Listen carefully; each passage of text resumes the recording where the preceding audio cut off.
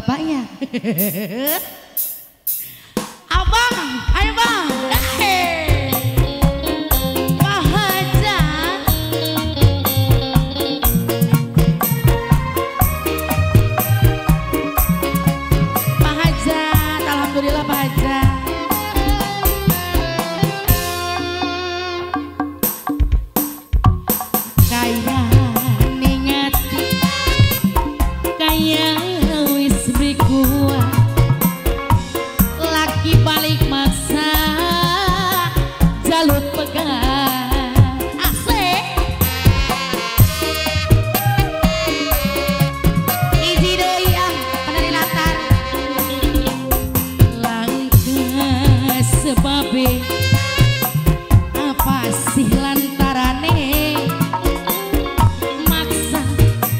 pikun metu talake.